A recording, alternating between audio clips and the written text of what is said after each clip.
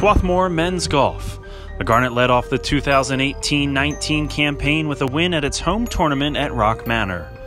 The Garnet also took first place at the Muhlenberg Invitational, the Pinehurst Invitational, and the Jefferson Spring Classic. At Pinehurst, Dan Altieri earned medalist honors with a 76. He collected his seventh career win, setting a new Swarthmore program record.